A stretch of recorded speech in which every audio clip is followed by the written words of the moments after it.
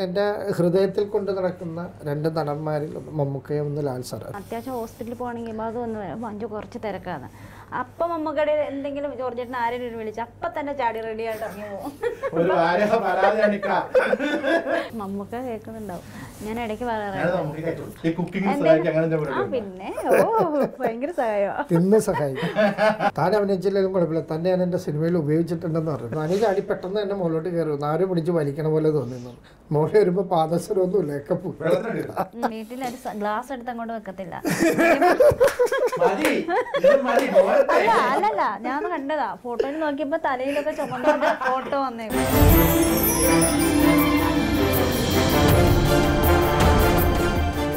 Welcome. ബാദുഷാൻ മഞ്ജു ബാദുഷ പതുക്ക മഞ്ജു ചേച്ചി സ്വാഗതം. ഈ വരാൽ മീൻ എന്ന് പറഞ്ഞാൽ നമ്മൾ പിടിത്തം തരാതെ തെറ്റി തെറ്റി പോണ മീനില്ല വരാൽ. കുറേ കാലമായിട്ട് പാതൊക്കെ എടുത്ത് ഇന്റർവ്യൂ എടാ നമുക്ക് ബുധനാഴ്ച എടുക്കാം. അപ്പൊ ഞാൻ ബുധനാഴ്ച എന്ന് പറയുമ്പോൾ എല്ലാ ആഴ്ചയും ബുധനാഴ്ച ഉണ്ട് എല്ലാ വർഷവും ഉണ്ട്. കാലം കുറേ ടെന്നെ ഇട്ട് ചുറ്റിച്ചുകൊണ്ടിരിക്കുകയാണ് ഇപ്പൊ രണ്ടുപേരും എനിക്ക് കൈ കിട്ടിയേക്കാണ്. അപ്പൊ ബാധക്കാട് രജിസ്റ്റർ ചെയ്യാൻ വിദ്യയൊക്കെ ഈ പ്രൊജക്ട് ഡിസൈനറും കൺട്രോളർ ബാദുഷയൊക്കെ ഞങ്ങൾക്കറിയാം. ഹസ്ബൻഡ് ഭർത്താവ് ബാദുഷ അച്ഛൻ ബാദുഷയൊക്കെ എങ്ങനെയുണ്ട് വീട്ടിൽ വീട്ടിൽ എന്താ സിനിമയാണ് ഫുള്ള് ചേച്ചി വളരെ പിടിച്ചു പിടിച്ചാണ് തുടങ്ങുന്നതിന് മുന്നേ ഒരു പത്ത് മണി ഞാൻ പറഞ്ഞിട്ടുണ്ടോ ഞാൻ ആലോചിച്ച വീടുകൾ എന്റെ വയസ്സ് മണ്ടത്തിൽ വീഴരുത് വീഴരുത് ഭയങ്കര കോൺഷ്യസ് ആണ്. സാധാരണ സംസാരിച്ചോട് സംസാരിക്കും അല്ല സാധാരണ പറയാ. പുറത്ത് പോയിച്ചു വന്നാലും വീട്ടിൽ വന്ന ഡ്രസ്സൊക്കെ കൂടി മാറിയിടുന്നു. നേരെ ടിവിയുടെ ഫ്രണ്ടിൽ പോയിരുന്നു സിനിമ കാണുന്നു. പിന്നെ. ഓ ഭയങ്കര സഹായമാണ് അതൊരു സഹായമാണ്.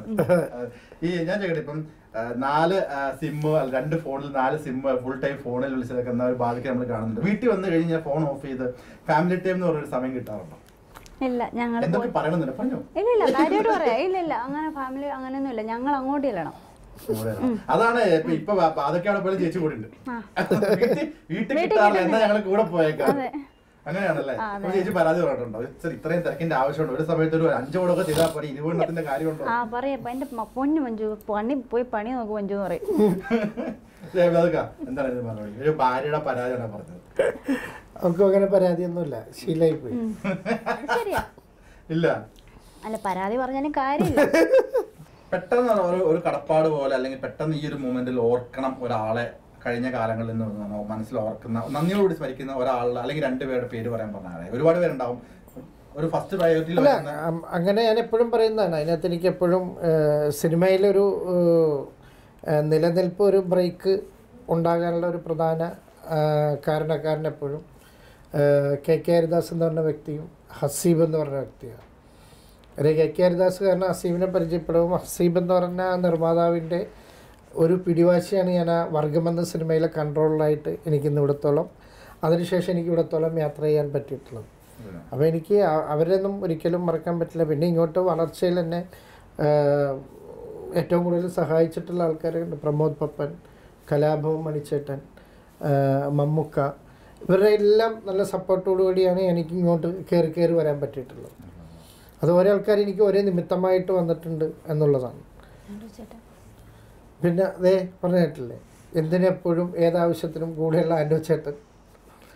അപ്പോൾ ഇവരെല്ലാം എന്റെ വളർച്ച ആഗ്രഹിച്ചിരുന്ന ആൾക്കാരാണ്. ആ വളർച്ചയിൽ എനിക്ക് എത്താൻ പറ്റി എന്നുള്ളത് തന്നെയാണ്. ചേച്ചി ഇപ്പോൾ നിർമ്മാതാവൻ എന്ന ഒരു പൊസിഷനെ കൂടെ എത്തിയിരിക്കുകയാണ്. ഒരു വലിയ ഉത്തരവാദിത്തമാണ്. എന്താ കൈകൊണ്ട്? അല്ല എന്നെ കൂടെ പിടിച്ചിട്ടെന്ന് പറഞ്ഞു പിടിച്ചിട്ടാണ്. സിനിമയോട് താല്പര്യമില്ലേ? ഉണ്ട് അപ്പൊ അങ്ങനെ ഒരിക്കലും പറയാതെ പിടിച്ചിട്ടെന്ന്. ആ ഒരു പൊസിഷൻ എന്തൊക്കെ ഉത്തരവാദിത്തങ്ങളാണ് ശരിക്കും? നിർമ്മാതാവ് എന്നുള്ള മഞ്ജു ബാദുഷ ആ ഒരു പേര് വന്നപ്പം തോന്നിയത് ശരിക്കും? കുറച്ച് കാര്യങ്ങളൊക്കെ ചെയ്യുന്നുണ്ട്. എന്ന് വെച്ചാൽ അതിനെ കണ്ട് പഠിക്കുന്നുണ്ടല്ലോ. അങ്ങനെ ഓരോന്നൊക്കെ കുറച്ച് കുറച്ച്. കുറച്ചുകൂടെ വിശദമായിട്ട് പറഞ്ഞു ഉത്തരം. ചേച്ചി ഇപ്പോഴും പേടിച്ചിരിക്കുകയാണ് ഒന്നും വായന വീഴരുത്.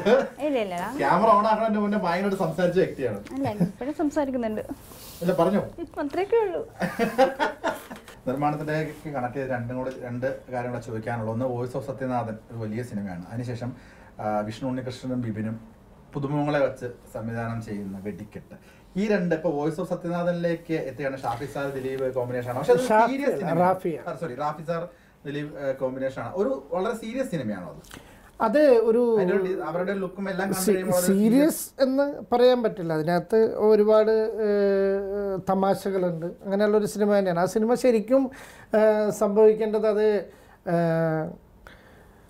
എന്നോട് ഫഹദ് വന്നൊരു സബ്ജക്റ്റ് ഒരു ചെറിയ ത്രെഡ് പറഞ്ഞിട്ട് നമുക്ക് നമുക്കിത് സിനിമയാക്കാമെന്നും പറഞ്ഞ് ഞങ്ങൾ റാഫിക്കായിട്ട് സംസാരിച്ച് എഴുതി കൊണ്ടുവന്നൊരു പ്രൊജക്റ്റാണ് പക്ഷേ അത് എഴുതി പൂർണമായി കഴിഞ്ഞപ്പോൾ ഫഹദിന് തന്നെ തോന്നുന്നു അത് ഫഹദ് ചെയ്താൽ നിൽക്കില്ല എന്നൊരു തോന്നൽ വരുന്നു.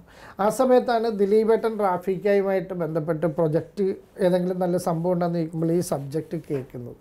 സബ്ജക്റ്റ് കേട്ടപ്പോൾ ദിലീപേട്ടൻ അത് ഭയങ്കര ഇഷ്ടമായി. അപ്പോൾ ഉടനെ എന്നെ ദിലീപേട്ടൻ എന്നെ വിളിക്കുന്നു. നമുക്ക് ഈ സിനിമ ചെയ്യാം എന്ന് പറയുന്നു. അങ്ങനെയാണ് ആ സിനിമ സംഭവിക്കുന്നത്.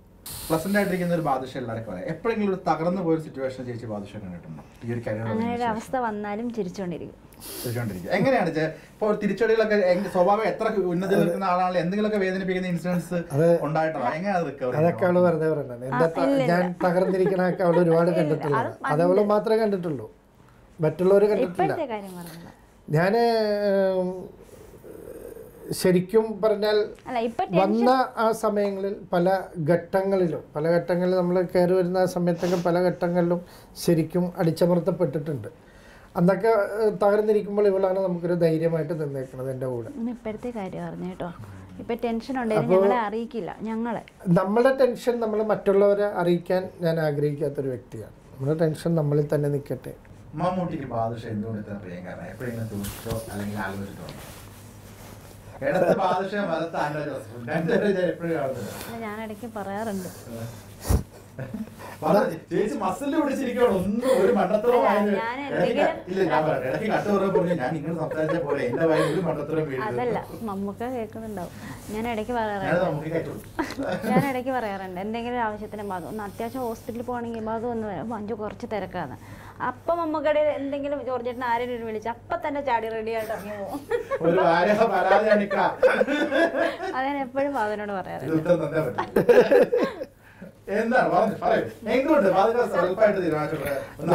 അവൾ അത് അവളോട് തന്നെ ചോദിച്ചുകൊണ്ടിരിക്കുന്ന ഒരു ചോദ്യത്തിൽ പെട്ടാണത് എന്തുകൊണ്ടാണ് എനിക്ക് അദ്ദേഹത്തെ ഇത്രയും പ്രിയമായതെന്ന് അവൾ ചിന്തിച്ചുകൊണ്ടിരിക്കുന്നത് പെട്ടാണ്.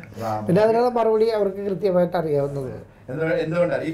ഞാൻ പറഞ്ഞില്ലേ, ഞാൻ ഞാൻ ഏറ്റവും കൊച്ചിലെ മുതൽ ഏഹ്, സിനിമകൾ കണ്ട് അദ്ദേഹത്തെ ഇഷ്ടപ്പെട്ട് അദ്ദേഹത്തിന്റെ മനസ്സിൽ കണ്ടുകൊണ്ട് സിനിമാ ഫീൽഡിലോട്ട് ഇറങ്ങി തിരിച്ചൊരു വ്യക്തിയാണ് ഞാൻ. ഈ സിനിമാ മേഖലയിലോട്ട് വരാൻ ഏറ്റവും കൂടുതൽ ഇൻസ്പിറേഷൻ എനിക്ക് മമ്മൂക്കയാണ്. ചേച്ചി പറഞ്ഞ കാര്യം ഇപ്പൊ ചിലപ്പോ ഓൺലൈൻ ന്യൂസ് ആവും. ഞാൻ വിളിച്ച പേരല്ല മമ്മൂക്കിന്റെ വിളിച്ചാ പോകും അതുകൊണ്ട് ഞാൻ ബാദുഷയുടെ ഭാര്യ മഞ്ജു ബാദുഷ. അതുകൊണ്ട് ഞാൻ എടുത്തു പറഞ്ഞു എങ്ങനെ ഓക്കെ ഇനി ഇക്ക മറുപടി പറയുന്നത് ചേച്ചി പറഞ്ഞു ഏത് പാതിരാത്രിയിലും പാതിരക്ക് വിളിക്കാൻ പറ്റുന്ന മൂന്ന് സെലിബ്രിറ്റീസ് ആണ് എന്ത് ഹെൽപ്പിനും ഇതാണ് സാധനം. എന്ന് പറയാം. എപ്പ ഏത് വെളുപ്പിനും ഏത് പാതിരാത്രിയും വിളിക്കാൻ പറ്റുന്ന മൂന്ന് സൗഹൃദം? നടന്മാരുണ്ടെങ്കിൽ ആരായിരിക്കും? നടന്മാര്- ഇൻഡസ്ട്രിയിൽ വിളിക്കും പിന്നെ ചാക്കോച്ചൻ. കറക്റ്റ് അല്ലേ. പിന്നാലോ പിന്നെ കുറെ പേരുണ്ട്. ഞാൻ ഫസ്റ്റ് പേര് കേട്ട മമ്മൂക്കയാണ് പ്രതീക്ഷിച്ചത്. അങ്ങനെ ജോർജ് ചേട്ടൻ അങ്ങനെ ആരെങ്കിലും ഒക്കെ വിളിക്കത്തുള്ളൂ. വിളിക്കാൻ വേണ്ടി വന്ന. ഞാൻ മമ്മൂക്കാനെ വളരെ. കുറച്ച് മാത്രമേ ഫോണിലൂടെ വിളിക്കാറുള്ളൂ. മെസ്സേജ് ആണോ? ബാ- വാട്സപ്പിൽ മെസ്സേജ് ഇടുക അല്ലെങ്കിൽ നേരിട്ട് കാണുക എന്നുള്ളതാണ് ഞാൻ ഫോണിൽ അധികം നമുക്കായിട്ട് ഇത്ര നാളിനിടയിൽ അധികം പ്രാവശ്യമൊന്നും ഫോണിലൂടെ സംസാരിച്ചിട്ടുണ്ട്. പിന്നെ ഏത് പാദയാത്രയും എപ്പോഴും ഞാൻ വിളിക്കുന്ന സിനിമയിൽ ഒരാൾ മാത്രമേ ഉള്ളൂ.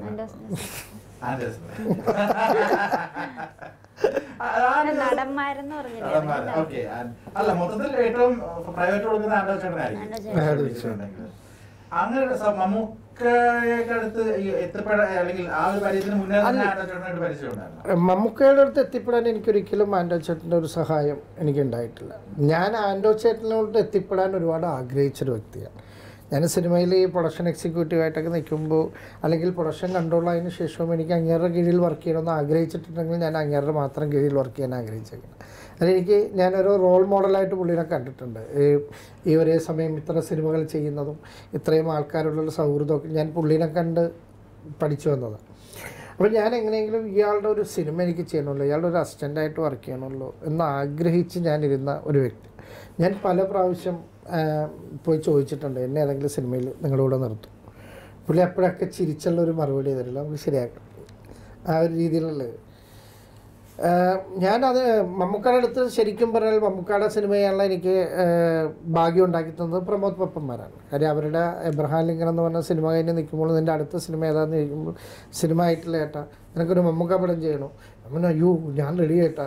അങ്ങനെയെങ്കിൽ നിങ്ങൾ പോയി മറ്റേ വിന്ധ്യേട്ടനെ വിളിച്ചു വന്നിട്ട് അടുത്ത ദിവസം പോയിട്ട് മദ്രാസിൽ പോയി ആ സിനിമയിൽ ജോയിൻ ചെയ്തു. അങ്ങനെയാണ് ഞാൻ ഒരേ കടൽ എന്ന് പറഞ്ഞ സിനിമ. മമ്മൂക്കയുടെ ആദ്യമായിട്ട് വർക്ക് ചെയ്യുന്ന അവിടെ ഒരേ കടൽ സിനിമ ഞാൻ അതിനൊക്കെ ശേഷമാണ് ഞാൻ ആൻഡോ ചേട്ടനെ പരിചയപ്പെടാൻ നിൽക്കുന്നത്.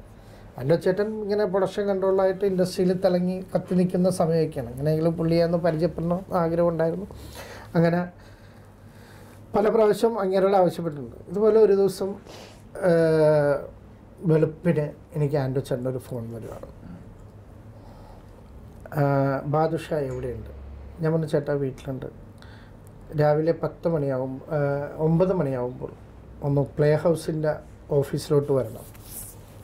ഇങ്ങനെയാണ് എനിക്ക് കോൾ വരുന്നത്. അപ്പം ഞാൻ പെട്ടെന്ന് ചാടി റെഡിയായി ഞാൻ നേരെ കറക്റ്റ് അവിടെ ചെല്ലും. ചെന്ന് കഴിഞ്ഞ് ആൻഡോ ചേട്ടനുണ്ട് മാർത്താണ്ഡനുണ്ട്. മാർത്താണ്ഡൻ ഉം, മാർത്താണ്ഡൻ മാർത്താണ്ഡൻ ഞാനുമൊക്കെ നല്ല സൗഹൃദമാണ് അപ്പോൾ മാർത്താണ്ഡൻ ഇങ്ങനെ ഇരിക്കുമ്പോൾ എന്നോട് വേറെ മറ്റേ പ്രസാദ് എന്നും പറഞ്ഞ ഒരു ഡയറക്ടർ ഇരിപ്പുണ്ട്. അപ്പോൾ വെറും ഉപയോഗിച്ചിട്ട് പറഞ്ഞു നിങ്ങളെ ഞാനൊരു സിനിമ ഏൽപ്പിക്കാൻ പോവുകയാണ്.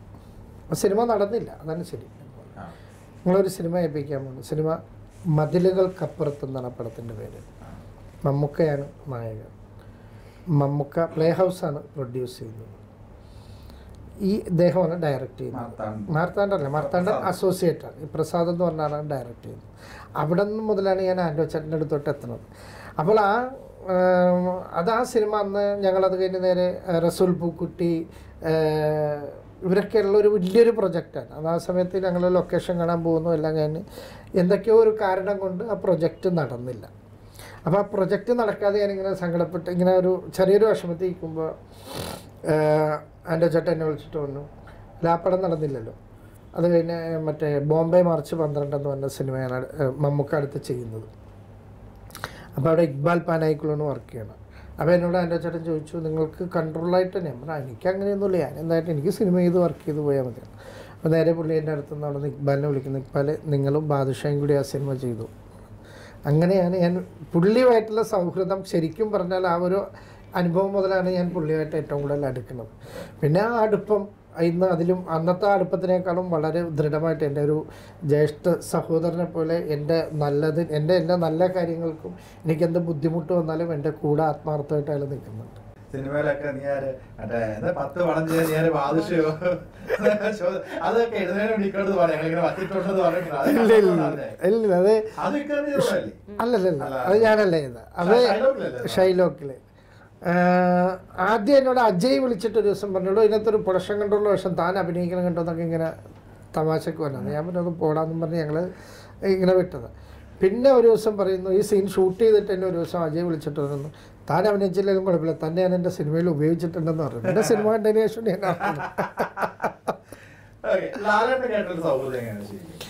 ലാൽ സാറുമായിട്ടുള്ള ഇത് ഞാൻ പറഞ്ഞു എനിക്ക് മേജർ രവി സാറിന്റെ സിനിമകൾ ചെയ്തിട്ടാണ് ലാൽ സാറുമായിട്ട് ബന്ധപ്പെട്ടത്.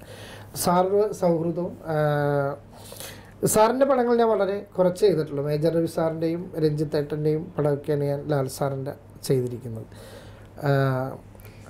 അത് ലാൽ സാറും ഞാൻ പറഞ്ഞു. ഞാൻ എന്റെ ഹൃദയത്തിൽ കൊണ്ട് നടക്കുന്ന രണ്ട് നടന്മാരിൽ മമ്മൂക്കയും ഒന്ന് ലാൽ സാർ അപ്പം ഞാൻ മാത്രമല്ല ലോകമെമ്പാടുമുള്ള എല്ലാവരും കൊണ്ടു നടക്കുന്ന അവർ രണ്ടുപേരെയാണ്.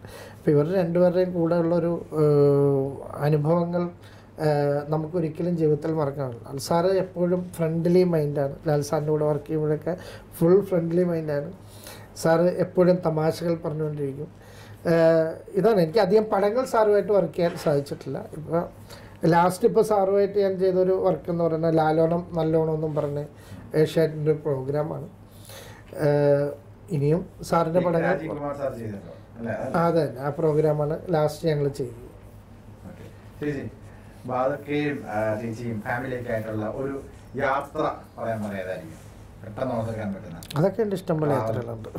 ഫാമിലി ഉമ്മയും ഞങ്ങളെല്ലാം കൂടെ കുറെ യാത്ര ചെയ്യാറുണ്ട്. ലൊക്കേഷനുകളിൽ പോയി ഒരുപാട് സ്റ്റേ ചെയ്തിട്ടുണ്ട്. ഇപ്പൊ പുറത്തൊക്കെ അങ്ങനെ എന്തെങ്കിലും ഒരു മെമ്മറീസ് ഷെയർ ചെയ്യാനുണ്ട്? പുറത്ത് ലൊക്കേഷൻ കേരളത്തിന് പുറത്ത് എവിടെയാണല്ലോ അല്ലെങ്കിൽ ഇന്ത്യയ്ക്ക് പുറത്ത്?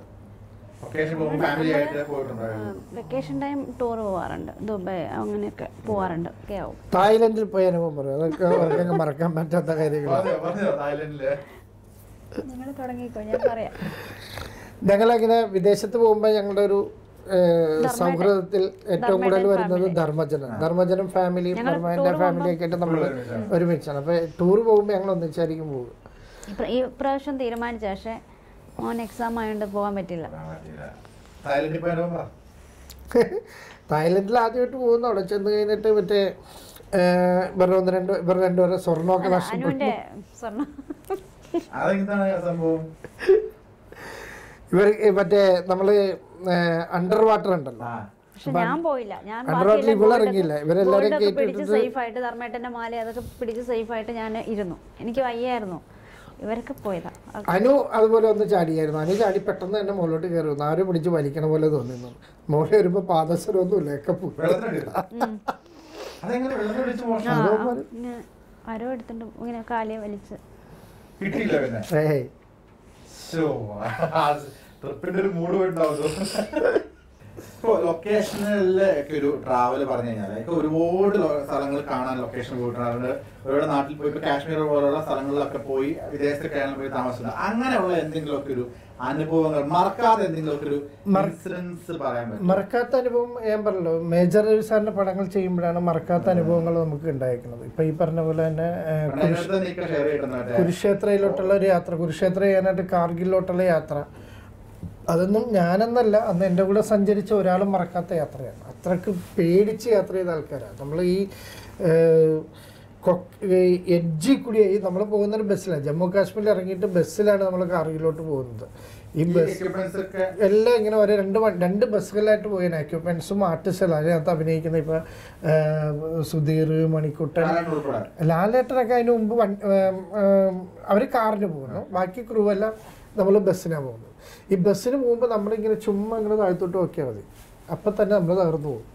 ഈ എഡ്ജിൽ കൂടിയാണ് ഇവന്മാർ വണ്ടിയൊക്കെ ഓടിച്ചുകൊണ്ട് പോകുന്നത് അവിടെ എത്തിക്കഴിഞ്ഞിട്ട് നമ്മളൊരു കാർഗിൽ എത്തിക്കഴിഞ്ഞാൽ നമ്മളൊരു പത്ത് മിനിറ്റ് ഒന്ന് സ്പീഡിൽ നടന്നാൽ അപ്പം തന്നെ നമ്മുടെ ശ്വാസം അതായത് ഓക്സിജൻ കുറവാണ് അവിടെ അങ്ങനെയുള്ള അനുഭവങ്ങളാണ് അപ്പോഴത് അതിനുശേഷം നമ്മളിപ്പോൾ ലാസ്റ്റ് ചെയ്തത് picket forty three picket forty ത്രീയുടെ സമയത്ത് നമ്മൾ ഷോഫിയാൻ എന്ന് പറഞ്ഞ സ്ഥലത്താണ് ഷൂട്ട് ചെയ്യുന്നത്. അതായത് ഇന്ത്യയിലെ ഏറ്റവും കൂടുതൽ തീവ്രവാദികളുള്ള സ്ഥലമാണ്.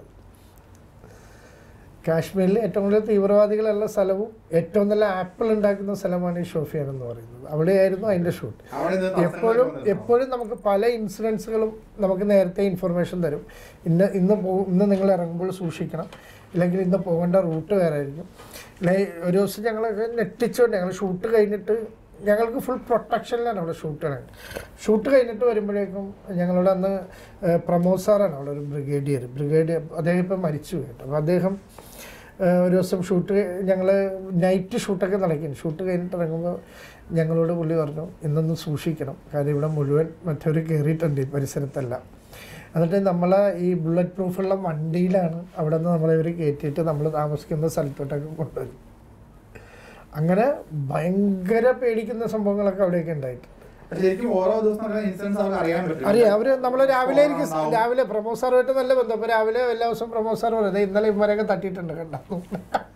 അപ്പൊ അത്രയും പ്രശ്നബാധിത മേഖലയാണ്. മേഖലയാണ് അതൊക്കെ. വേറെ എന്തെങ്കിലും ഇൻസിഡൻസ് പറയാനുണ്ടോ ഈ കാർഗിൽ അല്ലെങ്കിൽ അതല്ലാതെ വേറെ ഏതെങ്കിലും ലൊക്കേഷൻ അങ്ങനെ ഇൻസിഡൻസ് ഒന്നും അങ്ങനെ പ്രത്യേകിച്ച്. ആണെങ്കിലും അല്ലെങ്കിൽ അബദ്ധങ്ങളാണെങ്കിലും അല്ലെങ്കിൽ പേടിച്ച? എവിടെ? എവിടെ ഇത്? അതാ ഊട്ടിയോ പൂട്ടിയിട്ട കഥ പറയാ. പൂട്ടിയിട്ടതല്ല അത് അത് ഇതുപോലെ തന്നെ പിക്കറ്റ് പോട്ടിയുടെ പോട്ടി ത്രീയുടെ സമയത്ത് ഞാൻ ഇതുപോലെ ലൊക്കേഷൻ ഒരു രണ്ട് കിലോമീറ്റർ ഉള്ളിലാണ്. അവിടെ ഒരു മണ്ണിനകത്താണ് ഷൂട്ട് കിടക്കുന്നത് ഇപ്പോൾ അറേഞ്ച് കിട്ടണമെങ്കിൽ മുകളിലോട്ട് വരണം. ഇപ്പോൾ ഇവിടെയാണ് ക്വാർട്ടേഴ്സ് എല്ലാം ഉള്ളത്. അപ്പോൾ നമ്മൾ താമസിക്കുന്ന നമ്മുടെ മറ്റുള്ള ആൾക്കാർ താമസിക്കുന്ന സ്ഥലം. അപ്പോൾ ഞാൻ എന്ത് ചെയ്യും? ഇവിടെ നിന്ന് ഷിഫ്റ്റ് ചെയ്യുന്നതിന് രണ്ട് ദിവസം മുമ്പ് എനിക്ക് ഇവിടുത്തെ കാര്യങ്ങൾ അറേഞ്ച് ചെയ്യാൻ വേണ്ടി ഇവിടെ സെറ്റ് ചെയ്തിട്ട് ഞാൻ നേരെ മുകളിലോട്ട് വന്ന്. മുകളിൽ റൂമിലിരുന്ന് എല്ലാവരും ഫോൺ ചെയ്തുകൊണ്ടിരിക്കുമ്പോഴേക്കും എനിക്ക് താഴ്ത്തുന്ന രാജുവിന്റെ വയർലെസ് മെസ്സേജ് പൃഥ്വിരാജ് എല്ലാവരും കൂടി എന്നെ കളിയാക്കാൻ വേണ്ടി പക്ഷേ റൂമിൽ നിന്ന് പുറത്ത് നിങ്ങൾ എവിടെ ഇരിക്കണം? റൂമിലാണ് റൂം ലോക്ക് ചെയ്യും റൂമിൽ നിന്ന് പുറത്തിറങ്ങരുത്. ഇന്ന് വിഷയങ്ങൾ അവിടെ ചെറിയ പ്രശ്നമുണ്ട്. അവിടെ മുഴുവൻ മറ്റേ ടെററിസ്റ്റ് കയറിയിട്ടുണ്ട്. നിങ്ങൾ പുറത്തിറങ്ങി അപ്പം തട്ടിക്കളയും. എന്നെ പേടിപ്പിച്ച് ഇവരെ എന്നെ അതിനകത്ത് ഇരുത്തി കളഞ്ഞു രാത്രി വരെ. ഷൂട്ട് കഴിഞ്ഞിട്ട് ഇവരെല്ലാം ഇറങ്ങിയതിന് ശേഷം ബാദഷാ അവിടെ തന്നെ ആ റൂമിലുണ്ട്. എന്നാൽ ഇനി പുറത്തോട്ട് ഇറങ്ങിക്കോ. ഇറങ്ങി ഇറങ്ങി ശരിക്കും പറഞ്ഞാൽ ഇവർ തമാശക്കാണ് പറഞ്ഞെങ്കിലും ഇറങ്ങിയതിന് ശേഷമാണ് അടുത്ത പട്ടാളക്കാർ പറയുന്നത് ഇന്ന് അങ്ങനത്തെ ഒരു സംഭവം ഉണ്ടായിട്ടുണ്ടായിരുന്നു. പിന്നെ വിദേശത്ത് ഷൂട്ടിംഗ് എന്ന് പറയുന്നത് ഞങ്ങൾക്ക് ഭയങ്കര ആഘോഷമാണ്. കാര്യം എന്താണെന്ന് വെച്ചാൽ എല്ലാവരും എല്ലാവരും പണിയെടുക്കുക എന്നുള്ളതല്ലോ അവിടെ. ഇപ്പം നമ്മൾ സാധാരണ ഇവിടെ ഷൂട്ട് ചെയ്യുമ്പോൾ നൂറ്റമ്പത് നൂറ് പേരൊക്കെ വെച്ച് ഷൂട്ട് ചെയ്യുമ്പോൾ അവിടേക്ക് പോകുമ്പോൾ നമ്മൾ പത്ത് നാൽപ്പത് അമ്പത് പേരെ ഉണ്ടാവുള്ളൂ. അപ്പോൾ ഈ പെറ്റി ഉൾപ്പെടെ നമ്മളെ നോക്കണം എല്ലാ കാര്യങ്ങളും അതൊക്കെ ഒരു രസമുള്ള അനുഭവങ്ങളാണ് അതെ ഇപ്പൊ ഗ്ലാസ് എടുത്ത് അങ്ങോട്ട് വെക്കത്തില്ല. അല്ല അല്ലല്ല. ഞാൻ കണ്ടതാ. ഫോട്ടോയിൽ നോക്കിയപ്പോൾ തലയിലൊക്കെ ഫോട്ടോ വന്നേ അത് ഇപ്പം ആദം ജോൺ സ്കോട്ട്ലൻഡിൽ ഷൂട്ടാണ് ഇപ്പൊ രാവിലെ അവിടെ എന്താ വിഷയം എന്ന് പറഞ്ഞാൽ നമുക്ക് ചിലപ്പോൾ ഒരു നമ്മൾ നാൽപ്പത് ദിവസം ഷൂട്ടിനാണ് പോയേക്കണം. ഓരോ സ്ഥലത്തും അഞ്ച് ദിവസമൊക്കെ റൂമുള്ളൂ. അഞ്ചാമത്തെ ദിവസം വേറെ ഹോട്ടലിലോട്ട് മാറണം. അപ്പോൾ ഈ മാറുക എന്നുള്ളത് ഇവരെയൊന്നും കൊണ്ടുവന്ന ലൊക്കേഷൻ കൊണ്ടൊന്നും മാറ്റാൻ പറ്റാത്തതുകൊണ്ട് നമ്മൾ തലേന്ന് പറഞ്ഞേക്കാം രാവിലെ നിങ്ങൾ പാക്ക് ചെയ്ത് റൂമിൽ വെച്ചോളുക എന്നിട്ട് പൊക്കോളുക. എന്നിട്ട് ഇവരെല്ലാം ലൊക്കേഷൻ വിട്ടിട്ട് ഞങ്ങൾ രണ്ട് മൂന്ന് പേര് വരും. ഞങ്ങൾ ഇവന്മാരുടെ എല്ലാം പെട്ടിയും ചുമന്ന് അടുത്ത ഹോട്ടലിലോട്ട് പോകും. അപ്പൊ ഇത്രയും നേരം എന്റെ കൂടെ സമയം സമയം സ്പെൻഡ് ചെയ്യുന്ന വളരെയധികം സന്തോഷം. ഇനിയുള്ള എല്ലാ കാര്യങ്ങളും ഹിറ്റാവട്ടെ. മാറ്റിനി പോലെ തന്നെ സിനിമകളെല്ലാം ഹിറ്റായി മാറട്ടെ. തുടർന്നെല്ലാം മുന്നാവട്ടെ. Thank you so much